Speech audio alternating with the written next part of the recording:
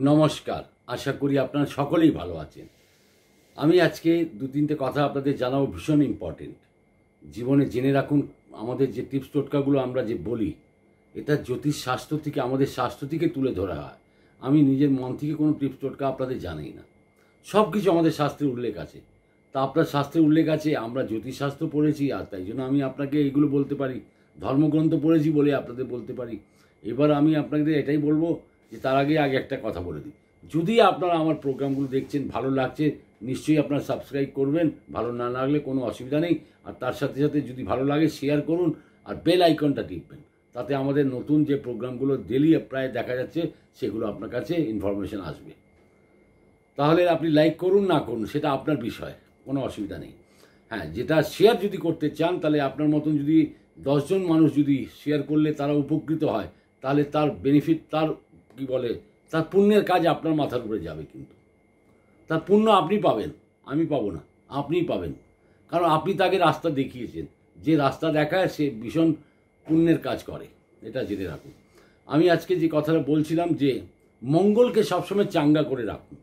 মঙ্গল হচ্ছে আমাদের শরীরের মধ্যে রক্তের রক্তের সঞ্চালক, যেটা রক্তের। আর মঙ্গল হচ্ছে মঙ্গল সূচক যে কোনো শুভ কাজ, আমরা সব কিছু বলি মঙ্গল মঙ্গল, তাই তো? মঙ্গলময় হোক বিয়ে তোমার ভালো মঙ্গলময় হোক, তোমার স্বাস্থ্য মঙ্গলময় হোক, ইত্যাদি। মঙ্গল ছাড়া আমাদের জীবন নেই, গতি নেই, আর মঙ্গলই হচ্ছে আমাদের রক্ত। এবার মঙ্গলকে চাঙ্গা করবেন কি করে? সর্বপ্রথম একটা জিনিস জানাব, যে মেয়েদের বিয়ে বাধা পড়ছে, যাদের বিয়েতে অসুবিধা হচ্ছে, বা কেউ টুকটাক করে রেখেছে, বা কেউ বারবার আপনাদের ডিস্টার্ব করছে, তাহলে সোজা একটা উপায়। একটা পান পাতা নেবেন, দুটো লবঙ্গ নেবেন। একটা পান পাতা, দুটো লবঙ্গ নিয়ে সেটাকে আপনার যদি বাড়িতে করেন, হনুমানজির মন্দিরে হনুমান ছবির সামনে রেখে দেবেন, আর যদি না পারেন, তাহলে আপনি, আর যদি যদি পারেন সুস্থভাবে, তাহলে মঙ্গল মানে হনুমানজির মন্দিরে ওটা দিয়ে আসুন। হনুমান মন্দিরে যখন আপনি দেবেন, আপনার যে যে বিপদ করাচ্ছে, যে মঙ্গল, বারবার আপনার হাসি খুশি কেড়ে নিচ্ছে। মঙ্গল হচ্ছে উদ্যম। মঙ্গল হচ্ছে, মঙ্গল ছাড়া জীবন চলে না। মঙ্গল উদ্যম, মঙ্গল আবার অশান্তি। অশান্তির কারক গ্রহ মঙ্গল। এবার রাহুর শত্রু মঙ্গল। মঙ্গলের শত্রু রাহু ঠিক তেমনি। যেমন বলতে গেলে যে মঙ্গল রাহুকে সহ্য করেন। একমাত্র মঙ্গল রাহুকে সহ্য করেন, বাদবাকি সব গ্রহকে করে না আপনি দেখেছেন আপনাদের জন্মছকের মধ্যে দেখবেন, আপনার যদি সপ্তম স্থানে মঙ্গল রাহু, মঙ্গল রাহুকে আমরা বলি কি ছন্ন ছড়া। ছন্ন ছড়া মানে ছড়িয়ে দিচ্ছে আপনাকে, আর ওখানে অ্যাটাচ করে রাখতে পারে না। তা সেই সূত্রে এটা বলা হয় মঙ্গল সবসময় মানে তার চোখ একদম রাহুর উপরে ভীষণ মানে কি বলবে ক্ষেপে থাকে বলতে পারে, রেগে থাকে। আর রাহুও তাই মঙ্গলের উপরে ভীষণভাবে ওর একটা মানে ওর ভালো লাগে না মঙ্গলকে। তা আমি যেটা বলছিলাম সেটা উপায়টা হচ্ছে দুটো লবঙ্গ নিয়ে একটা পান পাতার উপরে রেখে মঙ্গলবার করে হনুমানজির মন্দির দিয়ে আসুন। যদি হনুমান মন্দির যেতে অসুবিধা হয়, তা আপনার বাড়িতে হনুমানজির ছবি যদি থাকে, ছবি যদি থাকে, তাহলে মানে মূর্তি মূর্তি রাখবেন না বাড়িতে। হনুমানজি মূর্তি রাখতে নেই। একটা ছবি, ফটো ফটো রেখে যদি ফ্রেমে বাঁধানো আছে, তাহলে হনুমানজির সামনে অর্পণ করে দিন। এটা হচ্ছে কি, যাদের মঙ্গলটা ভীষণ খারাপ বা শারীরিক বলতে রক্ত কোনো কোনো রক্তের কোনো প্রবলেম বা মেয়েদের পিরিয়ডসের প্রবলেম এটাও বলব মেয়েদের পিরিয়ডসের যদি প্রবলেম হয়, তাহলে এটা কি করবেন? ষোলোটা মঙ্গলবার পরপর আপনি করে যান। আর মেয়েদের যদি শরীর খারাপ হয়, তাহলে পরে ওটা বাড়িয়ে দেবেন। এটা কোন প্রত্যেক মঙ্গলবার করে আপনি হনুমানজির চরণে ওটা মানে রেখে দিন। হ্যাঁ তারপরে আপনি বলবেন, কি করব এবার? এবার এটা হচ্ছে পান পাতাগুলো আলাদা করে দেবেন আর লবঙ্গগুলো আলাদা করে দেবেন। ষোলোটা মঙ্গলবার যখন হয়ে যাবে, সতেরো মঙ্গল পান পাতাগুলো জলে দিয়ে দেবেন। মঙ্গ, ওই যে, কী বলে, লবঙ্গটা, যে লবঙ্গগুলো আছে, আপনি খাওয়ার মধ্যে ব্যবহার করতে পারেন, সেটা আমিষ খাওয়ার মধ্যে নয় কিন্তু, নিরামিষ খাওয়ায়। নিরামিষ খাওয়ার সাথে ব্যবহার করতে পারেন। তাহলে এটা একটা গেল। এবার দ্বিতীয় একটা জানাচ্ছি। একটা উপায় হচ্ছে কি, একটা লবঙ্গ একটা লবঙ্গ মানুষের কপাল পাল্টে দিতে পারে। কপাল পাল্টে দিতে পারে। কীভাবে শুনুন? একটা লবঙ্গ নিন, লাল কাপড়ে বাঁধুন। লাল কাপড়ে বেঁধে আপনার ভীষণ অর্থ কষ্ট চলছে। আপনার ভাগ্য কিছুতেই সাথ দিচ্ছে না। আপনার কেউ মানে বলতে গেলে পাশে বসতেও দিচ্ছে না। এমন অবস্থা চলে এসেছে আপনার। একটা লবঙ্গ নিয়ে লাল কাপড়ে বেঁধে সেটাকে আপনি যেখানে টাকা পয়সা রাখেন, যে আলমারিতে, সেখানে রেখে দিন। আর সেই মঙ্গলবারেই। মঙ্গলবারই রাখবেন। এবার মা লক্ষ্মীর উদ্দেশ্যে আপনি রেখে দিন। এবার প্রথমে আপনার ঠাকুর আসনে রাখবেন, একটু ধূপদীপ দেখিয়ে নেবেন, তারপর সেটাকে তুলে আপনি টাকা পয়সা আলমারিতে রেখে দিন। বা টাকা পয়সা লকারে যেখানে রাখেন যেখানে রাখেন। আপনার যদি ব্যবসাও আছে, সেখানে রাখতে পারেন। আপনি যদি ব্যবসা আছে, বাড়িতে করে নিয়ে গিয়ে ব্যবসার স্থানে রেখে দিন। এবার রেখে দেবে। এটা তো গেল আপনার আর্থিক দিকটাকে মানে সুন্দর করবে। এর সাথে এটা আরেকটা টোটকা আছে। এরই, এই- একই জিনিসই টোটকা। এবার একটা হচ্ছে, আপনি একটা লবঙ্গ নিয়ে সেটাকে লাল কাপড়ে মুড়ে, লাল চিলি কাপড়ে মুড়ে, ভালো করে ওটাকে লাল সুতো দিয়ে বেঁধে সেটাকে আপনার মেয়েরা যে, যাদের বিয়ে হচ্ছে না, বিয়েতে ভীষণ প্রবলেম হচ্ছে।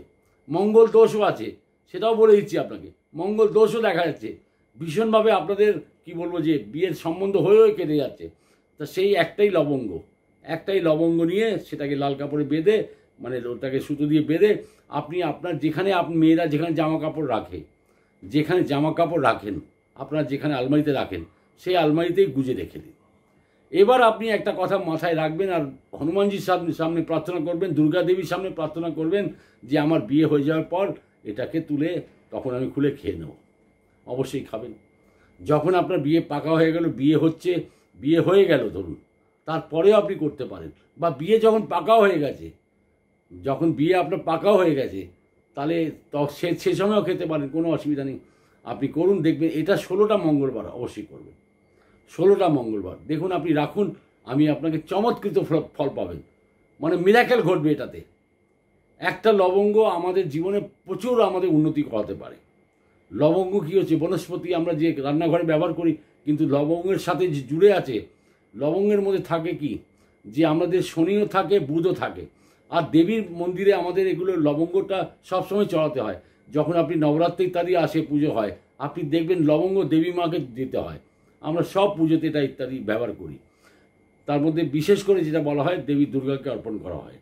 তা এই যে আপনি মনস্কামনা যেটা করলেন দেবী দুর্গাজির সামনে, তাহলে দেখবেন এটা আপনার মঙ্গলময় কাজ হবে। এবার আরেকটা জিনিস বলছি। তৃতীয় নম্বর বলে দিই এটা। ধরুন আপনার বিয়ের ভীষণভাবে অসুবিধা হচ্ছে বা আপনার ফ্যামিলিতে ডিস্টারবেন্স হচ্ছে। মানে কনজুগাল লাইফেও ডিস্টারবেন্স হচ্ছে, স্বামীর সাথেও প্রবলেম হচ্ছে বা স্ত্রীর সাথে প্রবলেম হচ্ছে, যে কেউ করতে পারে। স্বামী স্ত্রীর মধ্যে যে কেউ করতে পারে বা যে আইবুড়ো মেয়ে আছে, যার বিয়ে হচ্ছে না, সেও করতে পারে। বা একজন মা মা ভীষণভাবে তার ছেলেমেয়েরা ভীষণ তাকে কষ্ট দিচ্ছে, সেও করতে পারে।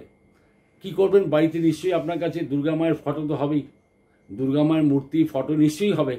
বাঙালিদের ঘরে তো থাকবেই, নিশ্চয়ই থাকবে। তা দেবী দুর্গাজির সামনে, দুর্গাজির যে মূর্তি হোক না কেন, যেই ফটো বৈষ্ণোদেবী হলে চলবে সেটা হলে বৈষ্ণোদেবী দুর্গাজি। ওটা একটা ওই ওই একই জিনিস কী করবেন? সুজির হালুয়া। সুজির হালুয়া বানাবেন মঙ্গলবার করে। সুজির হালুয়া বানাবেন আর সুজির হালুয়া বানিয়ে, ওই ঘি দিয়ে তৈরি করতে হয়। সুজির হালুয়া গাওয়া দিয়ে হয়। সেটা করে আপনি মা দুর্গাকে ভোগ দিন।